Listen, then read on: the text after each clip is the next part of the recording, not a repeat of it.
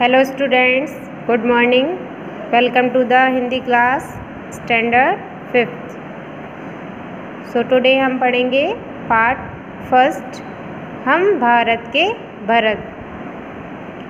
हम भारत के भरत खेलते शेरों की संतान से. कोई देश नहीं दुनिया में बढ़कर हिंदुस्तान से. इस मिट्टी में पैदा होना बड़े गर्व की बात है। साहस और वीरता अपने पुरखों की सौगात है। तो इन पंक्तियों का अर्थ है कि जैसे जो भरत थे, वो बहादुर थे, शक्तिशाली थे, उसी तरह हम भी भारत की संतान हैं, जो कि शेरों से खेलने का साहस रखते हैं। और हमारा हिंदुस्तान से बढ़कर कोई भी दुनिया में इतना साहसी देश नहीं है। और भारत की मिट्टी में पैदा होना हमारे लिए क्या है? बड़े गर्व की, गौरव की बात है। साहस और वीरता जो हमें क्या है? अपने पूर्वजों से मिले हैं। उपहार के तौर पर सौगात मीन्स होता है उपहार। अब है हमारा सेकंड स्टेंजा बड़ी बड़ी ज्वालाओं से कम नहीं, यहाँ चिंगारियाँ कांटे पहले फूल बाद में देती हैं फुलवारियाँ। कभी दहकते, कभी महकते, जीते, मरते शान से कोई देश नहीं दुनिया में बढ़कर हिंदुस्तान से। और यहाँ बड़ी बड़ी ज्वालाओं से कम नहीं, चिंगारियाँ से मतलब है, यानी जैसे छोटी छोटी चिंगारियाँ भी बड़ी ज्वालाओं से कम नहीं होती हैं। उसी तरह यहाँ के जो बच्चे हैं, वो भी बहुत वीर हैं। और जिस तरह किसी बाग में फूल आने से पहले कांटे आते हैं, उसी तरह हमारे जीवन में भी क्या है, पहले संघर्ष आता है। कभी दहकते कभी महकते। यानी कभी हमें क्या है, अंगारों की तरह दहकना पड़ता है, कभी फूलों की तरह हम महकते हैं। और हिंदुस्तान के लिए हम अपने देश के लिए शान से जीते, मरते हैं।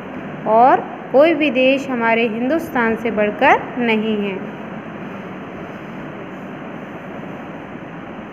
कूद समर में आगे आए, जब भी हम ललकार ने उंगली दांतों तले दबाई, अचरज से संसार ने सदियों से बनते आए हैं, हम पन्ने इतिहास के त्याग और बलिदान हमारे व्रत हैं बारह मास के।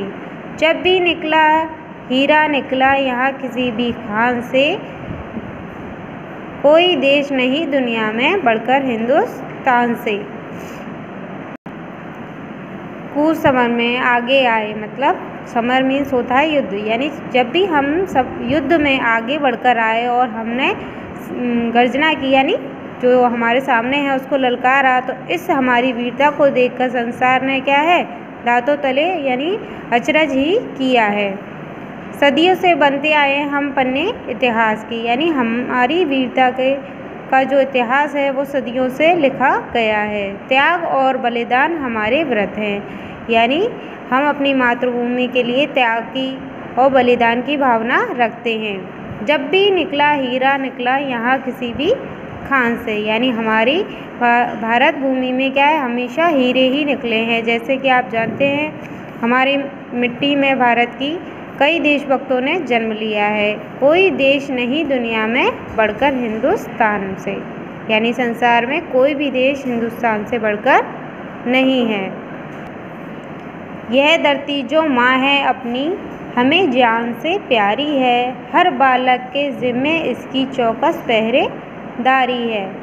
बोलो, मेहनत खूब करेंगे, कठिन परीक्षा आई है। माँ का दूध पिया जो है सौगंध उसी की खाई है। इसी उम्र में परिचय पालें, हम श्रम से, बलिदान से, कोई देश नहीं दुनिया में बढ़कर हिंदुस्तान से।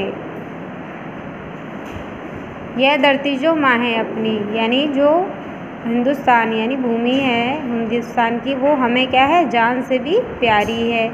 हर बालक के ज़िम्मे इसकी चौकस पहरेदारी है। यानी सभी युवाओं को ये ज़िम्मेदारी लेनी होगी कि हमें अपने देश की सावधानी करनी है, रक्षा करनी है।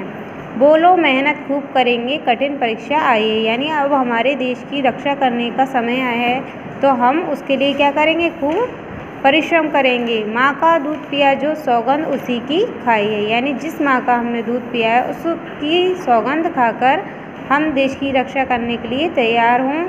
इसी उम्र में परिचय पा लें। हम श्रम से बलिदान से, यानी अभी हम छोटे हैं तो हमें इसी उम्र में श्रम करना और बलिदान करना सीखना होगा। कोई देश नहीं दुनिया में बढ़कर हिंदुस्तान से। संसार में कोई भी देश हिंदुस्तान से बढ़कर नहीं है।